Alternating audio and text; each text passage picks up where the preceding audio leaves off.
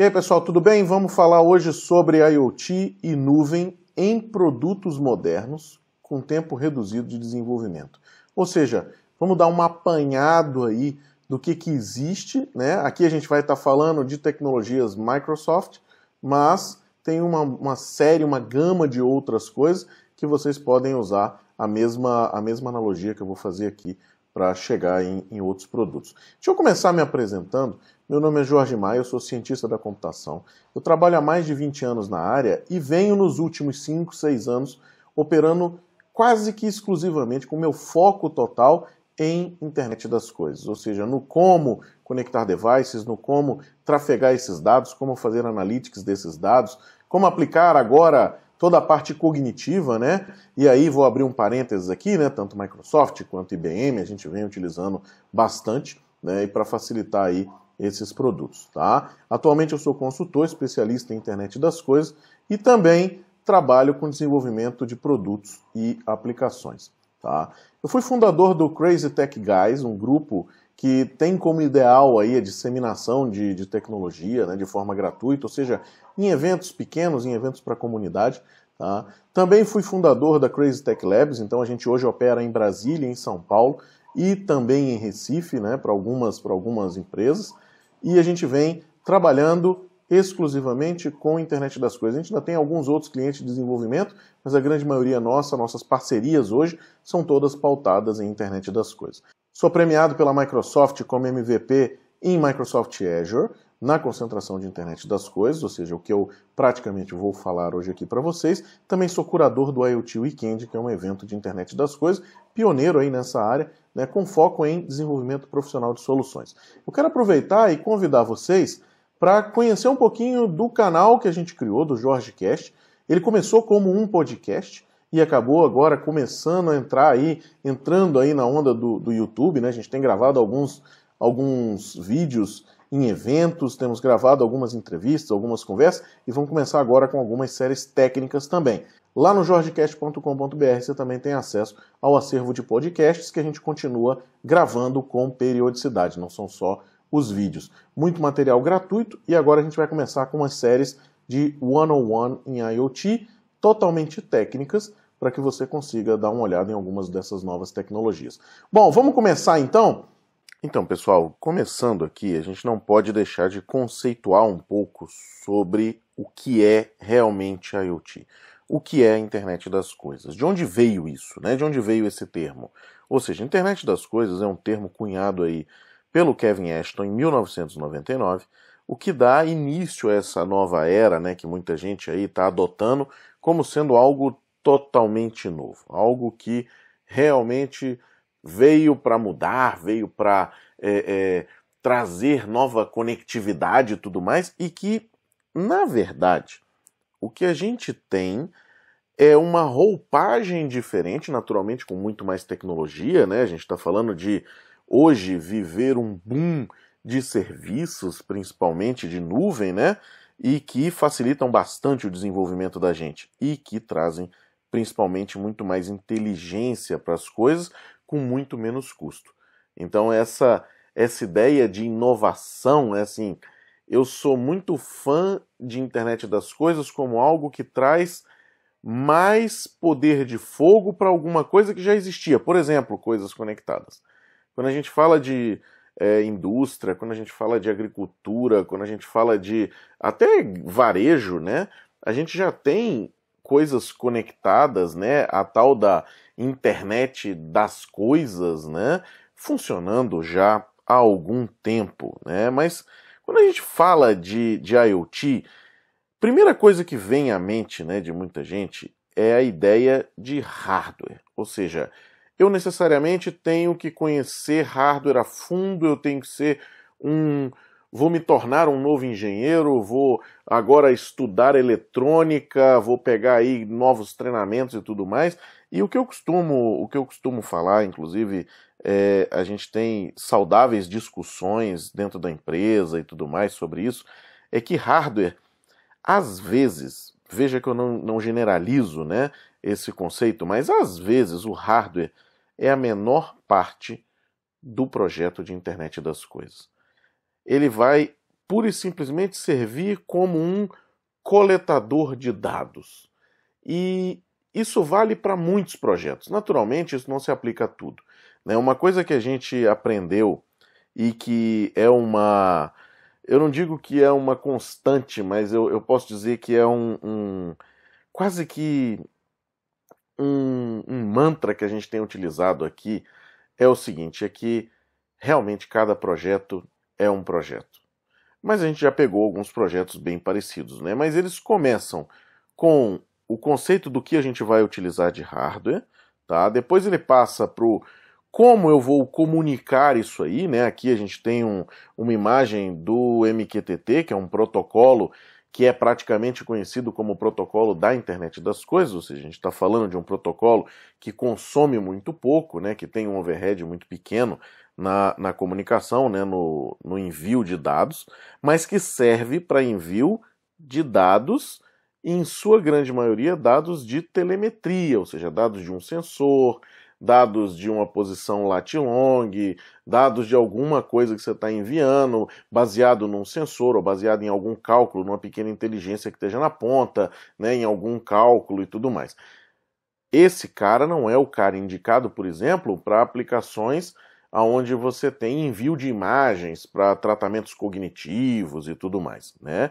Mas ele é amplamente utilizado até para fazer o sensoriamento, às vezes, da câmera que manda esse dado, essa informação para ser tratada aí na nuvem, tá? E no final de um projeto de IoT, a gente tem uma demonstração desses dados, ou seja, uma visualização desses dados, que é aí que nascem muitas das plataformas, né? As plataformas que, que existem hoje no mercado e que você localiza, até plataformas que são gratuitas aí, onde prometem é, você conectar o seu hardware e já sair com a informação na nuvem, né? Isso é muito bacana. Porém, é, me preocupa às vezes a escalabilidade disso, a capacidade de você é, manipular essa informação, porque não necessariamente você precisa pura e simplesmente estar demonstrando os dados. Por exemplo, esse gráfico aqui é um gráfico de um sensor de temperatura, né? Na verdade, dois aí, né? E que eu consigo ver o que está acontecendo. Ou seja, eu vejo, isso é o meu é o meu tempo real, é o meu online, né, digamos assim. Muito bom, mas como é que eu trato isso ao longo do tempo? Ou seja, é, eu vou salvar esses dados? Esses dados têm que ser tratados ou não têm que ser tratados depois, né? Porque aqui a gente está falando de uma leitura dele raw, dele puro. Né? Mas em algum momento eu vou tratar ou não esses caras. Então, é, é, essa é que eu acho que é uma preocupação e principalmente aonde você vai integrar essa informação. Né? Quando a gente fala de adoção hoje de internet das coisas, a gente está falando de melhorar processos, né? de otimizar, às vezes, linhas de produção, de melhorar a produtividade de, um, de uma lavoura, de conhecer uma planta de um varejo. Né? Então, eu estou falando de muita informação que às vezes não é necessária, né? Você, você não precisa levá-la para a nuvem, mas às vezes você precisa fazer algum tratamento depois e tudo mais. E, e aí sim me preocupa essa ideia, às vezes simplória, de você ter algo do tipo: ah, eu conecto o meu hardware e ele me mostra um gráfico. E acabou-se, né? Então isso aí às vezes é meio, é meio preocupante, né? Porque quando a gente está falando de uma solução de internet das coisas, ou seja, é, esse, esse localizador de patches, né? Ele tem todos esses, esses indicadores que a gente falou agora há pouco, né? Eu tenho hardware, né? o hardware está incorporado, está transmitindo mensagens, essa mensagem está chegando em algum lugar, tá? E a partir daí eu vou ver onde está esse animal, né? Agora Veja, eu tenho necessidades específicas às vezes, né? Por exemplo, um, um, uma gestão de um pet como esse, né?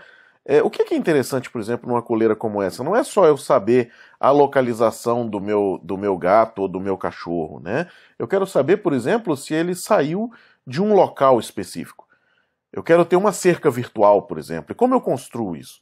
Como é que eu vou evoluir essa regra? Como é que eu vou lançar isso aí dentro de uma regra que já existe, por exemplo, né? Trazendo para o mundo de fábricas, por exemplo, como é que eu vou integrar esse dado com o meu ERP? Como é que eu vou lançar isso para o meu almoxarifado para dar saída, por exemplo, né? Eu saber que esse cara passou por um painel de RFD, por exemplo, e ele saiu de, de tal local e está em tal local, ou seja, conseguir é, é, manipular isso tudo, né? Então, é, é isso que eu acho que é interessante quando você vai entender um pouco o que é a internet das coisas e principalmente é, buscar essa aplicação em algo é, específico, em algo profissional, né, você ter em mente essas coisas, porque às vezes é uma decisão que você vai se deparar com um bom e velho paradigma de projetos, que é aquela aquela coisa não planejada pode se tornar algo muito grande lá na frente. Né? E em internet das coisas a gente está falando de uma escala que envolve também recall às vezes de hardware. Então, ah não, eu uso hoje uma plataforma X, mas eu posso mudar a qualquer momento perfeito, sem modificação nenhuma de hardware, você consegue realmente fazer essa modificação é, é, over the air nesse cara, sem, sem que o cara tenha que fazer um recall, sem que o cara tenha que voltar. Então, perfeito, mas às vezes você não consegue. Né? Então você tem esse, essa problemática, porque cada vez que você insere mais inteligência na ponta, mais caro fica o seu hardware. Né?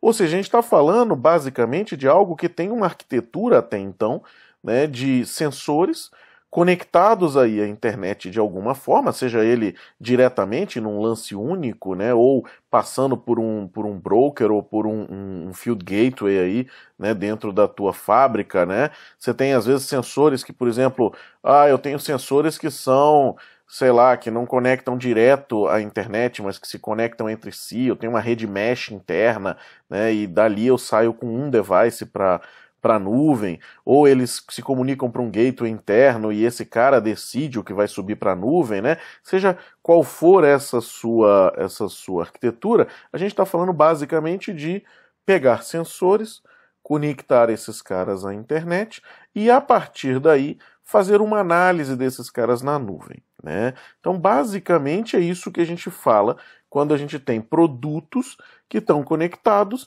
e uma interface que está conectada a essa nuvem né, e que consegue operar esses caras. E aí vem um, um, um grande, uma grande problemática, né, que é a seguinte. Hoje a gente tem, por exemplo, no ramo da domótica, né, que, que esse slide mostra muito bem, né, que são lâmpadas, câmeras, a, a própria cafeteira né, conectada, é, esses caras eles partem de um princípio, às vezes, que você não precisa integrá-los a nada. Né? E às vezes você é, reescreve a pedra. Por exemplo, né, o que, que eu estou querendo dizer com reescrever a pedra? Né? Você pega e diz assim: ah, eu vou criar a minha lâmpada conectada. Ou seja, eu vou ignorar o mercado, eu vou é, partir de um, de um pressuposto que não, não interessa o que já fizeram, e eu vou criar ela do zero. Aí vem um, um já um detalhe, né? que é o seguinte: o primeiro cuidado é com patentes, né? Porque às vezes já está patenteada essa sua ideia, já está é, é, registrada essa sua ideia, e você, quando colocar isso no mercado, vai ter problema de royalties naturalmente. Tá? Mas digamos que isso não aconteça, ou seja, você se preocupou com é, ter a sua ideia e colocar a sua ideia no mercado. Né? Veja, você vai entrar num mundo que é eu vou utilizar algum serviço ou eu vou escrever o meu próprio? E aí é que eu vejo o, o, algumas coisas sendo criadas e que não tem muita aderência. Por exemplo, se você hoje desenvolve um device para casa, para uma casa inteligente, ele necessariamente tem que se comunicar com os hubs já existentes. Você tem que estar dentro desse ecossistema, porque senão o seu hardware está fadado a não ser comprado, a não ser adquirido por ninguém.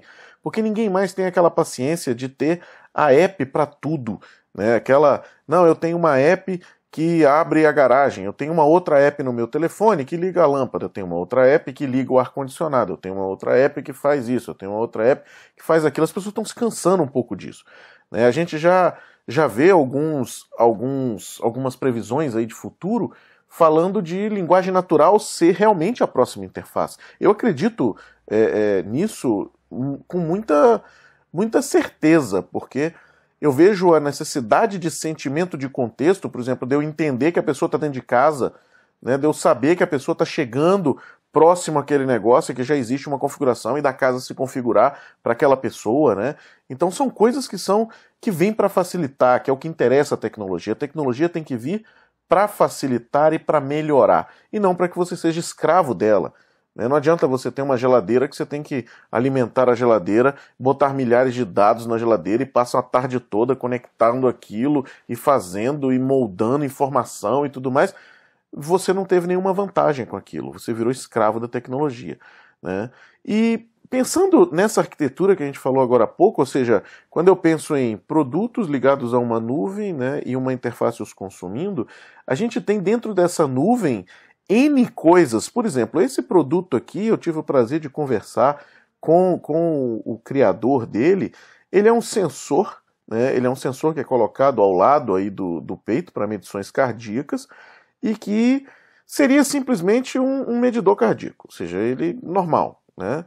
Faria um, um, digamos, um eletrocardiograma ali, você tivesse aquilo né, pronto para que você possa usar. Bacana, mas ele não faz só isso. Esse cara, ele consegue, de acordo com as medições que ele fez e com inteligência artificial rodando em cima dos dados que já foram adquiridos, baseados em estudos, começar a predizer doenças. Então ele consegue chegar e dizer assim: olha, você está no início de uma doença X ou de uma doença Y, ou você tem essa doença, ou você está com esse problema, entendeu? Você está com obstrução, ou seja, baseado nesse dado, baseado numa análise desse dado que está na nuvem. Tá? Então é um pouco disso que a gente está falando para os próximos devices aí, né? para o que está vindo realmente e o que vai trazer a tal da disrupção de mercado, né? Os produtos que tomam realmente a frente né, e chamam a atenção. Por exemplo, essa escova mede o tipo de cabelo para fazer uma indicação de shampoo. Ah, poxa, isso aí não tem a menor utilidade, às vezes, né? Eu, eu mesmo pensei isso inicialmente, né? E fui demovido. Isso aqui era o stand da Revlon dentro da CES de 2017, ou seja, quando eu fui conversar com o pessoal lá, eles me mostraram uma tendência de uso de dados para começar a promover mudanças, inclusive no ciclo de uso de produtos e tudo mais, baseado no que?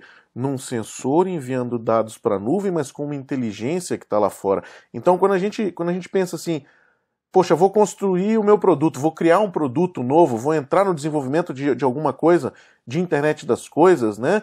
É, no que, que eu tenho que estar preocupado? Em criar o meu próprio broker, por exemplo, de mensageria, em escrever o meu próprio algoritmo. Eu acho que você pode perder a competitividade se você seguir por essa linha. Tá? Então você pode começar a pensar já no seguinte: o que, que existe de serviço já pronto que me dá velocidade? Né? Porque uma coisa é você ter velocidade e chegar no mercado com velocidade. Seu time to market diminuir cada vez mais. Né? E depois você sim avançar né? aí num desenvolvimento, num PD. Né?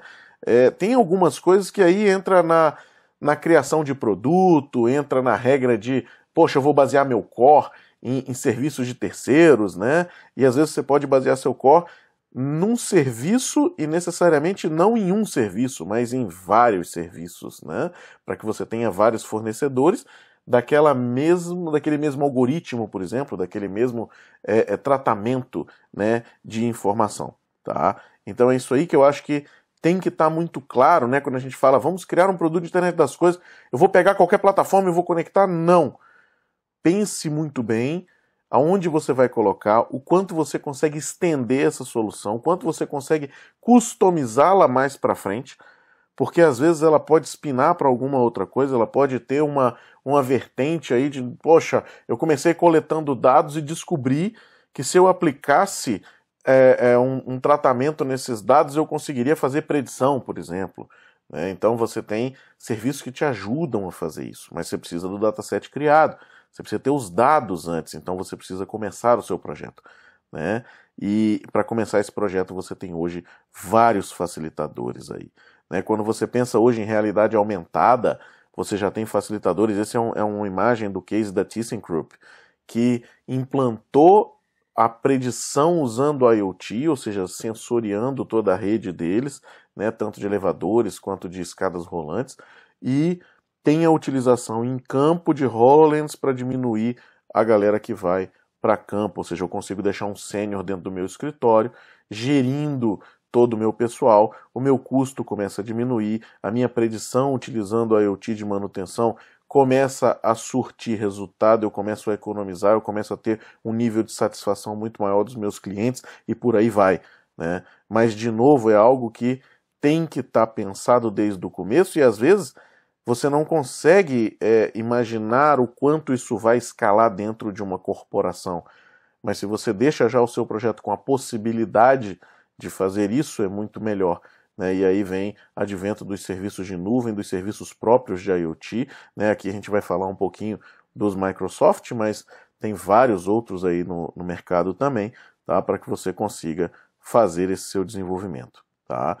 Aí vem uma, uma coisa interessante que é o seguinte: quando a gente fala de, às vezes, trazer a inteligência né, para essa nuvem, de chegar e dizer assim: olha, é, tudo meu está na nuvem. Legal é, tudo meu está hoje sendo processado na nuvem. Muito bom. Mas você processa isso necessariamente para te devolver uma resposta imediata, por exemplo? E como funciona o seu modelo de conectividade física, né? É, você tem confiança nessa, nessa comunicação? Às vezes o seu custo é, banca o seu projeto, né? Porque você pode ter coisas do tipo, não, eu tenho um custo tão alto de comunicação que eu não consigo fazer isso do jeito que eu queria. Né? Mas se eu tivesse alguma coisa no meio desse caminho, que é a ideia do fog computing, né? dessa, dessa computação on the edge, né? ou na ponta, tá? não necessariamente, veja, não enxergue isso como uma inteligência dentro do dispositivo. Às vezes você pode continuar com seu dispositivo dumb, com seu dispositivo burro, né? E seguir com esse cara dentro de um gateway. Ou seja, eu posso ter um gateway com a inteligência que eu tenho de nuvem, né? E eu vou apresentar depois para vocês aqui o, o IoT Edge, que é uma solução que traz isso aí para a ponta, né? inclusive com machine, com machine learning, com Azure Functions, com algumas coisas, você consegue levar isso aí para a ponta, naturalmente você não leva 100%, né? mas você leva grande parte disso, para que você faça esse processamento às vezes na borda. E aí consiga, a partir desse processamento de borda, tomar a sua decisão. Aí você consegue tomar uma decisão em tempo real, né? sem que necessariamente você tenha que sair da sua planta, sem que necessariamente você tenha que sair do seu site ali, do seu, do seu ambiente, né? consumir conectividade e fazer todo um enlace de, de dados, de, de transporte de dados, para que aconteça o seu processo. Tá?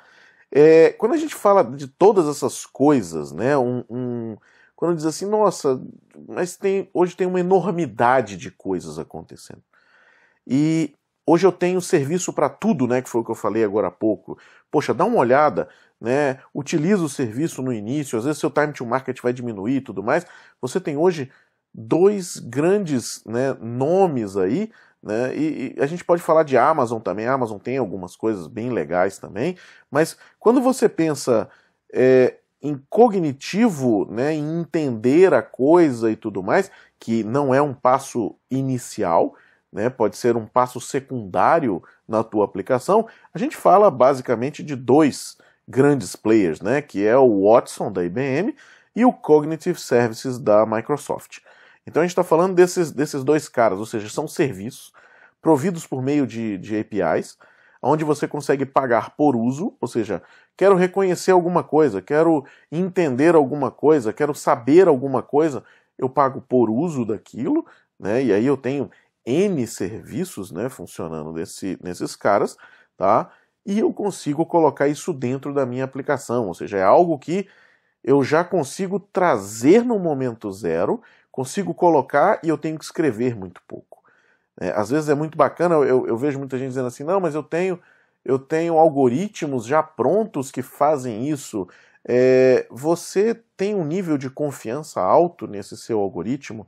É o quanto você garante colocar isso na rua, por exemplo, né, num momento zero da sua aplicação e garantir que você vai ter um retorno esperado. Ah, não, eu tenho um roadmap aqui de, de POCs e de, e de serviços que vão acontecer e a gente vai colocar aos poucos isso no mercado e tudo mais.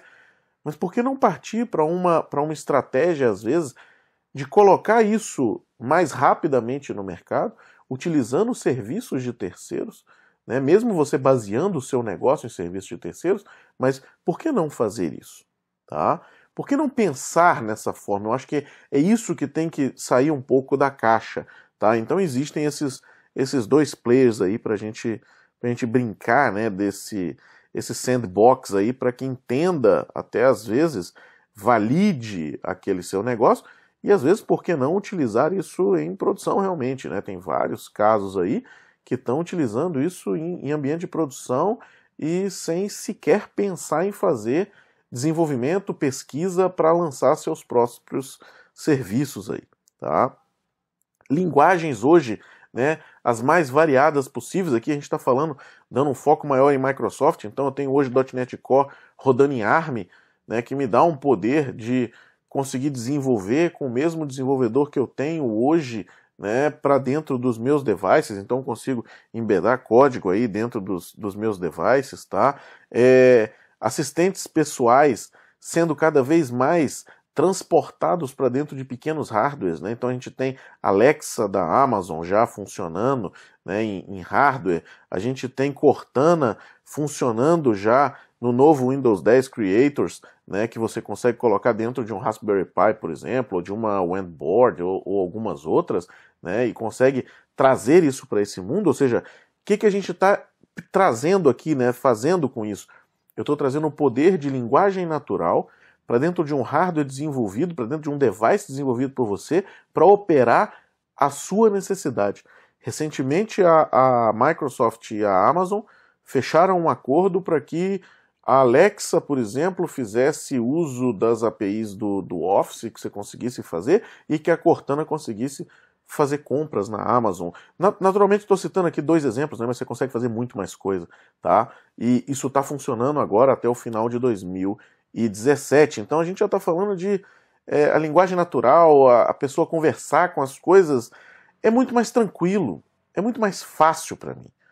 É muito mais simples eu chegar em casa e dizer, olha, é, eu queria comprar alguma coisa e eu queria pedir uma pizza, eu queria fazer isso, eu queria ligar o meu, o meu device, eu queria é, descer as minhas cortinas, eu queria saber como é que está acontecendo o, o, a enchente em tal lugar, eu quero saber como é que está o clima. Ou seja, é muito mais simples do que eu pegar um telefone, do que eu abrir uma aplicação e uma aplicação que às vezes faz somente uma coisa. Né? E do lado do desenvolvedor, é muito mais fácil eu tratar isso do outro lado como skills desses assistentes pessoais do que eu estar tá desenvolvendo aplicações que rodam em múltiplos devices, que eu tenho que fazer testes absurdos em múltiplos devices para que eu tenha certeza absoluta que isso vai funcionar. Né? Então é muito mais simples eu utilizar a partir de agora essas, essas coisas dentro do meu próprio ambiente, né? E esse mundo físico começar a, se, a conversar né, com, com o mundo virtual e eu começar a trazer isso aí. Tá? Só a título de ilustração, você que está é, é, fazendo aí o desenvolvimento, que está pensando em desenvolver, né? É, outra coisa muito interessante, a gente está focando em falar um pouco de, de, serviços de nuvem e tudo mais, mas uma coisa interessante é que existe a mesma coisa quando você pensa nos enlaces físicos, né? Então já tem plataforma pronta, por exemplo, o Lora, né? Ainda tem, passa por alguns por alguns problemas com regulamentação no Brasil e tudo mais, mas são problemas que envolvem simplesmente engenharia e custo né, para homologar. Não é que seja proibido, nada disso. Né? E que esse cara, por exemplo, ele te dá uma, uma conectividade de alguns quilômetros. Então são coisas que, poxa, funcionam muito bem, que você já tem tudo pronto para te garantir segurança.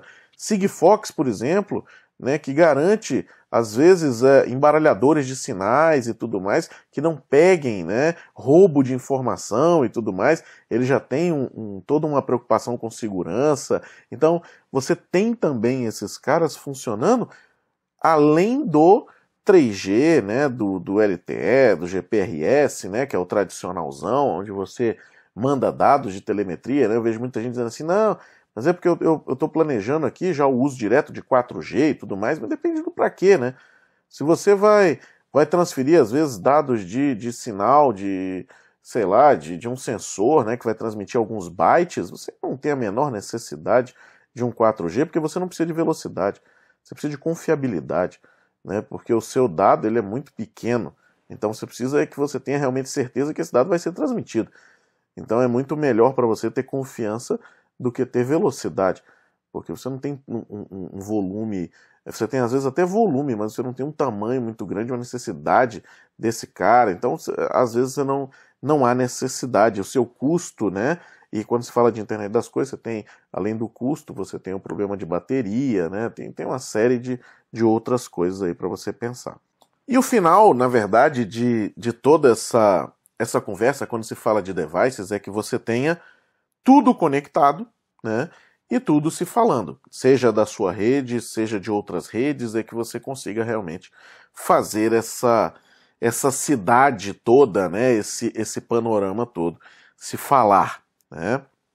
E como é uma arquitetura de referência? Né?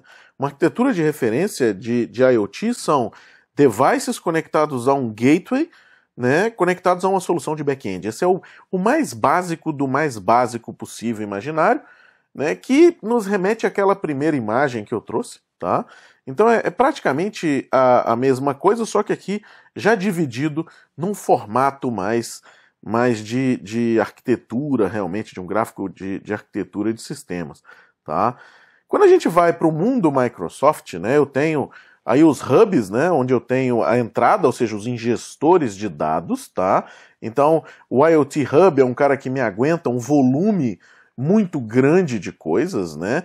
E agora a gente teve recentemente o, o, o lançamento do, do Grid Hub, né, que vai garantir também que você use funções serverless e, e tudo mais para gerar mais volume né, nesses caras, tá? Mas hoje o que você tem para IoT é o IoT Hub, tá? A gente tem o Event Hub, que muita gente é, costuma dizer que usa em IoT, né, mas que ele não, ele não é um cara programado para isso, porque ele não vai fazer a gestão dos seus devices, por exemplo, né? Então você vai perder nisso aí, você vai ter mais um trabalho e ele não aguenta o volume que o IoT Hub aguenta, tá? Quando a gente pensa em guardar os dados, né? A gente tem, tem tido uma experiência muito, muito ampla aqui na, na empresa, trabalhando tanto com bases relacionais aí para fazer aquelas consultas de geração de, de relatórios, né, de dashboards e tudo mais. A gente tem tido uma experiência muito boa com o, o Table e o Blob Storage, tá? E Formatos de documento NoSQL também a gente tem utilizado bastante. Então, se você vai entrar nisso aí, veja tudo que eu estou falando aqui é, está disponível, é facilmente interligado de um para outro, né? E já já eu vou mostrar para você como é que você monta um template já pronto com tudo funcionando, tá? Aí você parte para a parte de analytics, né? Onde você tem machine learning, stream analytics e tudo mais, que a partir daqui você consegue linkar, ou antes às vezes, né, você consegue linkar com os serviços cognitivos também, tá? E aí as camadas padrão de, de apresentação, né? Então aqui você tem, por exemplo, o IoT Hub, eu suporto até 10 milhões de dispositivos, então esse já é, por si só, um diferencial dele. Né? Ele é quem habilita o IoT Suite, que é a suite toda com todos os produtos que você vai ter necessidade ao longo de um, de um projeto um pouco maior. Né? Ou seja, me aceita o, a telemetria, aceita a ideia de você ir e voltar com o seu dado, tá? ou seja, eu posso utilizar ele para enviar esse dado para a cloud, ou seja, a cloud enviar também esse dado para o meu device, atuando nesse device, né, dando uma resposta para esse cara. Consigo gerir o meu dispositivo, que isso é uma coisa interessante. Né? Então, ao invés de você montar o seu broker aí de MQTT dentro de uma máquina virtual ou dentro de alguma outra coisa, é muito mais fácil você ter um cara como esse. Já já eu vou chegar nos preços, você vai entender que é barato também esse cara. Tá? E ele me dá acesso aos principais protocolos, né? Tanto HTTP, eu acho que a, a sua visão, se você vai para a internet das coisas, é, se atente muito ao porquê você usar os protocolos, então HTTP, qual o uso correto dele, AMQP, MQTT, ou seja, qual é o que consome menos? Então, será que não é melhor utilizar o que consome menos para estar tá enviando os dados meus de, de telemetria, de sensores e tudo mais? Né, e deixar os mais pesados para o que realmente eu preciso, né, às vezes para conectar-me a, a, endpoints diferentes, às vezes para conectar a outros serviços internos, por exemplo, né? Aí eu quero ligar esse, esse IoT Hub aqui para que quando chegue uma mensagem específica de um sensor, ele dispare né, um evento em outra em outro cara, então aí sim utilizar outro tipo de protocolo, então pensar um pouco nesses caras, tá? Aí eu volto para a ideia aqui daquele gráfico inicial, onde agora eu tenho o meu gateway aqui como sendo o IoT Hub, né? E quando você pensa na ponta, você está falando desse IoT device aqui, ou às vezes de você colocar onde está um Field Gateway aqui, você consegue, por exemplo, colocar um IoT Edge aí na ponta para estar tá gerindo esse cara, para estar tá fazendo, por exemplo, a gestão desse seu dispositivo lá na ponta. Será que esse cara, quais são as configurações desse cara, como é que eu vou transmitir esses dados e tudo mais, você consegue é, é, orquestrar tudo isso de forma mais, mais simples, né? E aí você está tratando dentro do seu back-end algo que já está mais estruturado, ou seja, eu consigo linkar isso a outros serviços e colocar isso para operar em paralelo, às vezes, né, com muita coisa, disparar funções e tudo mais a partir desse cara, né? Cross-platform de SDKs, ou seja, não é uma coisa quando se fala do, do IoT Hub, né, dos agentes desses caras e tudo mais, você não está falando de pura e simplesmente utilizar somente .NET, né, eu estou falando de usar C, ou seja, eu consigo entrar na maior gama de devices possíveis aí, estou falando de utilizar Java, estou falando de utilizar JavaScript, né, Node.js e, e tudo mais, está tudo acoplado, além naturalmente de você poder programar em C Sharp, em Core, no que você estiver imaginando, tá? E uma facilidade quando você tem uma porta de entrada que se conecta facilmente aos outros devices, de, de, dos outros, aos outros serviços, perdão, né, de você conseguir trabalhar isso aí com um tempo de desenvolvimento muito menor, com uma facilidade de uma plataforma que te dá a extensibilidade que você às vezes precisa, né? E você está conseguindo linkar aí vários pontos de forma bem mais prática, tá? Então é isso aí que eu acho que traz é, é, essa ideia de você às vezes pensar na adoção de uma plataforma como a, a da Microsoft quando você vai falar de IoT, né? E não é, escrever na mão ou às vezes ficar fazendo pontas entre uma e outra, né? É, às vezes vale mais a pena você focar em uma plataforma, né, se especializar nela e começar a trazer benefícios desse cara para você, tá?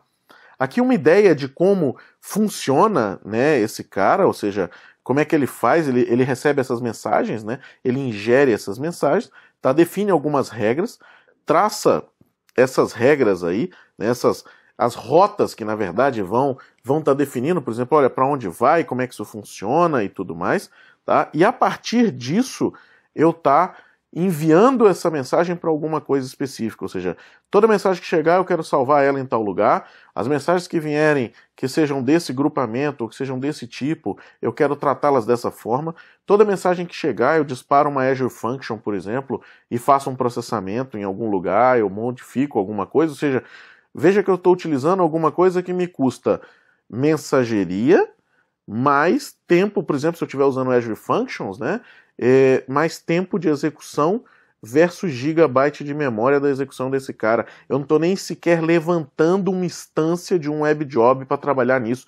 Eu não estou nem colocando uma VM para levantar, como eu vejo muita gente é, provisionando essas coisas, né? E estou operando diretamente dentro do barramento desse cara com uma facilidade de desenvolvimento muito grande. Tá? Então essa aí é a tal da ideia quando se pensa em utilizar uma plataforma como essa. E aqui eu gosto sempre de trazer a, esse slide porque é uma coisa que muita gente diz assim, não, Microsoft é um negócio muito caro, muito proibitivo, né? E eu não vou nem prototipar lá porque eu não quero. Então, assim, eu convido você que está nos ouvindo, se você vai prototipar, prototipe com o IoT Hub porque até oito mensagens por dia né, é gratuito. Então você consegue é, fazer esse seu teste, entender né, como é que isso aí funciona e não está nem tendo custo disso. que às vezes você estaria utilizando um broker gratuito, é, e se for de MQTT e o cara conseguir chegar no mesmo canal que você, ele pode estar tá lendo essas mensagens, ou pode estar tá modificando e você não saber, tá? Então você tem aí, aí depois você tem planos aí de acordo com o número de mensagem, né, por unidade por dia e, e tudo mais, tá? Aí a gente chega num ponto que é legal, Jorge, poxa, bacana, você falou um pouco do IoT Hub, a gente não entrou muito a fundo nos, nos serviços e tudo mais, mas eu queria começar com alguma coisa que já dissesse assim, eu quero conectar meu device e ver gráficos funcionando. Como é que isso funciona? Aí eu tenho a ideia do IoT Switch, que vai conectar você e vai endereçar você para alguns cenários aí já prontos, tá? A gente tem agora o cenário de indústria também nesse cara, tá? E ele já vai tomar conta de tudo, ou seja, ele vai montar tudo isso aqui para você. Ele vai trazer Power BI, vai trazer o Stream Analytics, vai trazer o Event Hub para fazer essa, essa orquestração aqui, né? Poxa, esse é o melhor, é a melhor arquitetura, esse é o melhor negócio possível o que eu posso te dizer é que ele te garante que você monta o seu projeto em alguns minutos e depois você vai evoluindo esse cara.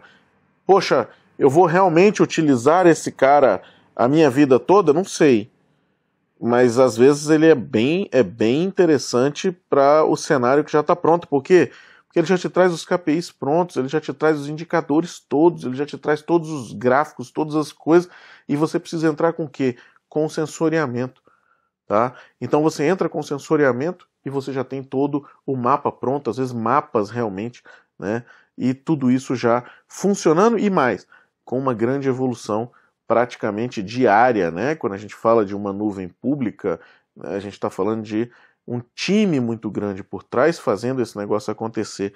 Então é interessante aí para que você veja. Por exemplo, esse aqui é um dashboard, né? pronto. Esse dashboard aqui eu não fiz absolutamente nada, eu simplesmente criei e ele está pronto. E eu criei um sample device aqui em C Sharp mandando os dados para ele.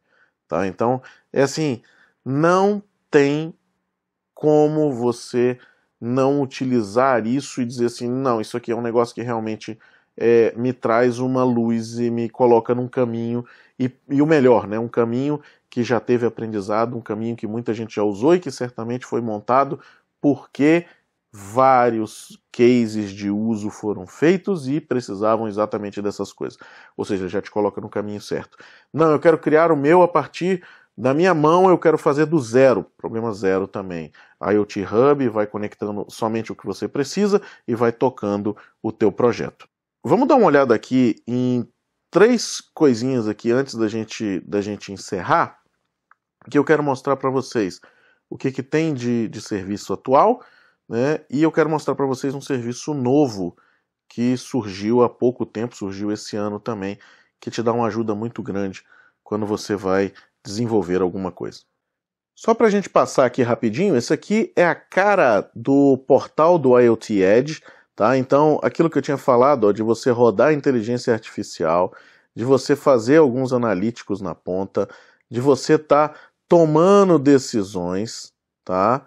Então você consegue levar esses caras para a ponta e tá verificando aí como é que isso aí funciona. Então aqui esse é o site da, do IoT Edge, mas também se você entrar no site do Azure você vai conseguir ver isso aqui fácil. E se você quiser testar esse cara, aqui dentro do GitHub, ó, você consegue baixar o SDK desse cara e tá dando uma brincada, ó, aqui com SDK em C, tá? Você consegue trabalhar aqui alguns desses caras. Tem aqui, ó, todo o explicativo de como é que você vai fazer, tem alguns exemplos já prontos aí, né? Algumas coisas já para que você é, já meta a mão na massa e já comece com uma velocidade muito grande, né?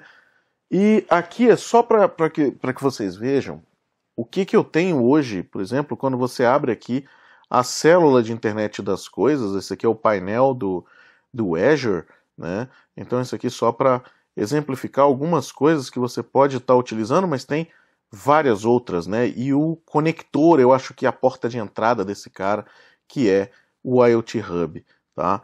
Um nome interessante aí também para vocês guardarem é o Time Series Insight. Esse cara aqui, por exemplo, quando eu falei lá nos, nos slides que a gente podia, por exemplo, pegar e receber uma mensagem e linkar essa mensagem direto para algum lugar, eu consigo linkar ela direto para o Time Series Insight. Esse cara aqui, por exemplo, é um mapa de calor de mensagens que foram enviadas. E aqui são os dados dessas mensagens nesse intervalo de tempo.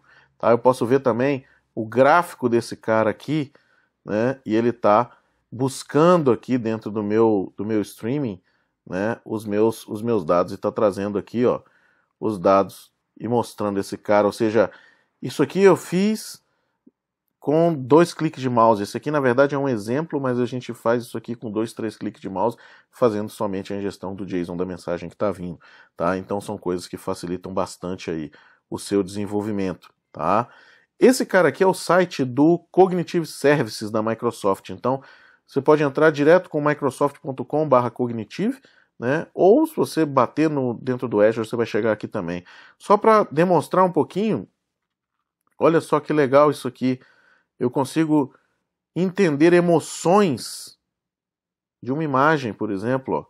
Então, passando o mouse aqui por cima, eu vejo que ele tem 100% de felicidade, tá vendo? Ó? E eu tenho um nível de certeza dessa medição. Ou seja, eu tenho algo que me ajuda a desenvolver. Aqui eu tô, eu abri diretamente na de emoção, né? Mas eu tenho, olha só, várias outras aqui, ó. Então eu tenho algumas coisas aqui de visão, então consigo detectar faces, né? Consigo fazer traduções, consigo entender, né, textos. Cara, por aí você vai ter várias outras coisas, fazer searches, né? E você tem várias coisas aí para conseguir já utilizar isso já pronto dentro do teu plano no Azure e muitos deles você tem a, a gratuidade em alguns itens para que você consiga fazer o seu piloto, para que você consiga testar e iniciar seu desenvolvimento. Tá? Então, não perca tempo desenvolvendo do zero. Né? Já saia com uma velocidade aí para você conseguir chegar mais longe. Bom, pessoal, esse era o conteúdo da nossa apresentação. Eu quero agradecer aí a sua, a sua visualização e convidar você a acessar o, o canal lá da gente no, no Facebook, o meu site também, o JorgeCast, né, que tem bastante coisa aí. A gente está entrando com alguns, com alguns vídeos mais técnicos agora, tá? E com algumas séries aí bem básicas, né? E focando principalmente em internet das coisas. Obrigado e eu estou à disposição aí para perguntas, tá aí o meu e-mail, se vocês quiserem entrar em contato, fiquem à vontade.